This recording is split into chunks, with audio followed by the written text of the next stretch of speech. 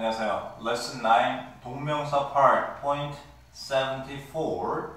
자, 동명사와 to부정사를 목적으로 취하고 여기에서는 그런데 그 의미가 동명사일 경우와 to부정사인 경우에 의미가 달라지는 네, 그런 동사들을 공부하도록 하겠습니다.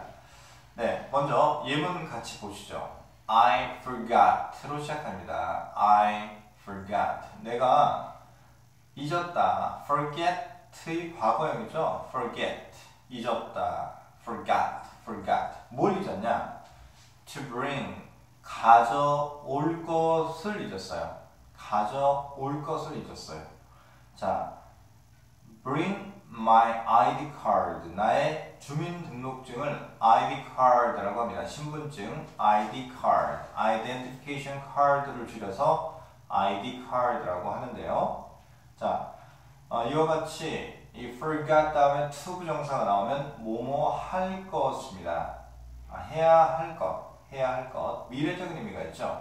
그렇게 할 것을 잃었다, 잊어버렸다. 자, 그런데 만약에 forgot 다음에 ing가 나오면 했던 것을 잊은 겁니다. 했던 것. 의미가 완전히 달라지죠. 자, 이와 같은 동사들 이번 시간에 딱 다섯 개만 알아볼 거예요. 그런데 이 다섯 개가 굉장히 중요한 단어들이니까 여러분 꼭 파악하시기 바랍니다. 자, 먼저 remember. 자, 뭐뭐 한 것을 기억하다. 자, 잘 들으세요. 잘 들으시면 뭐뭐 한 것은 과거에 한 것이에요. 그래서 remember 다음에 동명사 ing가 나오면 뭐뭐 한 것이에요. 동명사가 나오면 과거적인 개념, 정적인 개념이 들어가요. 자, 과거의 개념, 정적인 개념이 들어가기 때문에 여러분 뭐뭐 했던 것이 되는 거고요.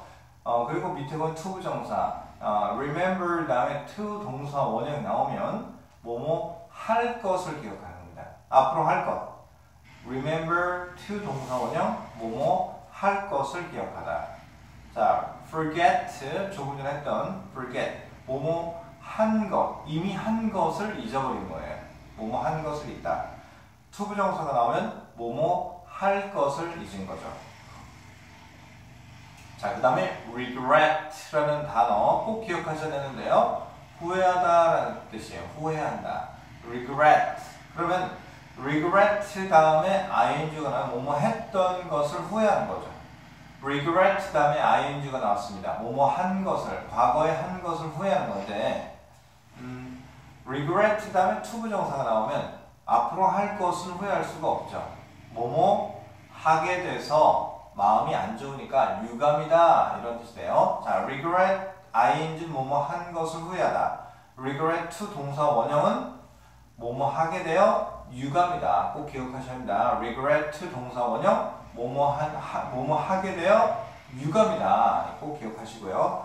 try ing 시험 삼아 한번 해보다. 뜻이 달라져. 시험 삼아 한번 해보는 겁니다. try ing 시험 삼아서 그냥 한번 해보는 거. 그냥 한번 시도해보는 거. try ing 근데 try to 동사 원형에는 앞으로 계속 방향, 미래적인 의미를 가지고 계속 시도하는 거니까 try to 뭐뭐 하면 어, 열심히 노력하다라는 뜻이에요. 뭐뭐 하려고 노력하다.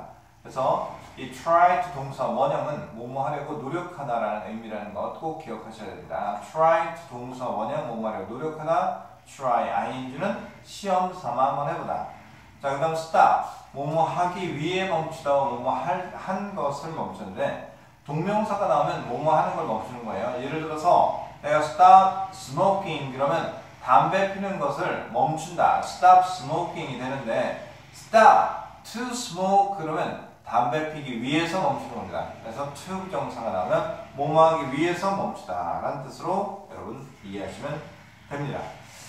자, 이와 같이 해서 to부정사와 동명사 둘 다 사용이 가능하고 그리고 그 의미가 달라지는 경우를 우리가 살펴봤습니다. 자, stop 음, 은 동명사를 목적으로 취해서 어, stop to부정사는 to부정사의 목적을 나타내는 부사적 용법으로 쓰인 것이다. 자, 밑 팁을 잠깐 보세요. stop은 동명사만을 목적으로 취해요.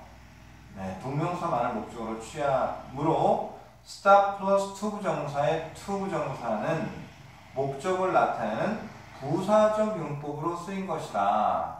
그렇죠. 목적을 나타내는 부사적 용법으로 쓰이는 것이다. 즉, 어, 여기서 말하는 것의 초점은 뭐냐면요. 음, 여기 뒤에 나오는 stop to 동사 원형은 목적어가 아니라는 것입니다. 자, 다시 목적어가 아니라는 겁니다. 자, 우리 지금 여기서는 동사가 나오고 그 다음에 목적으로서 to부정사와 ing가 나왔는데 stop의 경우에는 목적으로는 동명사만을 취하고요. 그 다음에 to부정사가 나오면 부사적 용법의 to부정사가 된다라는 것이죠. 다른 거다보다 명사적 용법이다. 이런 차이점 반드시 기억을 하시고 한번 문제 한번 풀어보도록 하, 겠습니다 자, 스텝 1. I remember. 내가 기억합니다. I remember. 무엇을? putting my glasses. 자, ing 나왔습니다. 뭐뭐 했던 것이죠. 놓았던 것을 my glasses. 나의 유리잔을 어디에? on the desk. 책상 위에 말입니다. 어, 선생님이 일부러 어, 마지막 단어를 얘기하면서 말을 마치죠. 여러분 읽을 때에도 문장이 끝나는 시점에서 이해할 수 있도록 자꾸 연습을 하셔야 합니다. 2번 don't forget 잊지 마 don't forget 무엇을 잊지 마 to buy 살 것입니다. 자 아직 안 샀죠. 미래죠. 뭐뭐 할 것이니까 살 것을 뭐를 some milk 우유를 좀 살 걸 말이야. on your way home 너의 집에 오는 길에 on your way 너의 길에서 어디? home 집으로 오는 3번 Tom regretted regret 후회하다 Tom은 후회했다 missing the class miss는 놓치다 라는 뜻이죠 그럼 수업을 빠진 겁니다 missing the class 그 수업에 빠진 걸 말이야 자, 그 다음 4번. Try to make new friends every year. Try to 동사원의 뭐만에 노력하다. Make new friends. 새로운 친구를 사귀려고 노력하세요. Try to make new friends every year. 매년 말이죠. 5번. My father stopped. 우리 아빠는 멈췄다. 무엇을? smoking. 담배 피는 것을. 뭐하는 것을 멈추나. for his health. 그의 건강을 위해서 말이야. 자, 선생님 우리말로 해석을 해주면 여러분 자꾸 생각을 어떻게 이미지화 시켜서 떠올려야 됩니다. 자, 이 스텝 2 1번. 나는 사업을 시작한 것을 후회하지 않는다. 자, 나는 I don't regret. I don't regret 시작한 것, 시작한 것이죠. 뭐뭐 한 것. 그리고 후회하지 않는다니까 I don't regret starting. starting. ing 나옵니다. A business. 2번. 벤은 어젯밤 메리에게 전화한 것을 잊어버렸다. 전화를 어젯밤 이미 했죠. 그러니까 과거예요. Ben forgot. 전화한 것. calling이죠. calling. Mary. Mary에게. last night. 어젯밤 말이야. 3번. 그 아가씨는 시험 삼아 한번 유리구두를 시험했다. The later ladies. The ladies. 자, ladies. 그 숙녀들이죠. 그 아가씨들 tried. 한번 해봤다. try ing. putting on.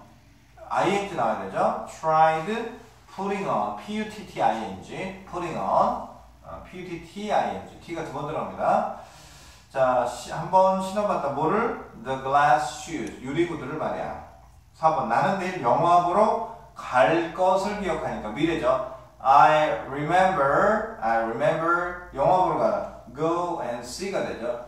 remember to go and see the movie tomorrow와 같이 여러분 이해하시면 됩니다. 5번 그들은 그 문제에 대해 토론하는 것을 멈췄다. They stopped. 뭐뭐 하는 것을 멈추다. 뭐뭐 하는 것, 토론하는 것, discussing. They stopped discussing. 자, 토론하는 것을. The problem. 그 문제를 말이죠. 스텝 3로 들어가면 자 나는 꽃을 사기 위해 멈췄다. 뭐뭐 하기 위해. I stopped. 그 다음 뭐가 나와야 되죠? To buy. to 플러스 동사원형. I stopped to buy some flowers. 라고 이야기합니다. 나는 멈췄다. to buy. 사기 위해서. 무엇을? some flowers. 약간의 꽃을. 꽃을 말이야. 네. 이렇게 해서 point 74. 자, 자, 동명사와 투부정사를 모두 목적으로 취하는데 의미가 다른 경우에 대해서 살펴보았습니다.